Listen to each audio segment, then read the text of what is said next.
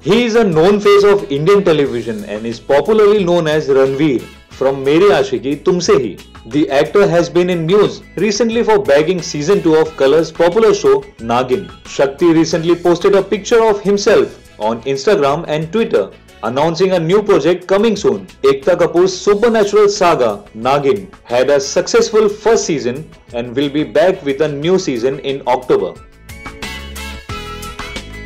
What do you feel about this story? Do share in your comments. And for more television updates, subscribe our channel TV Prime Time.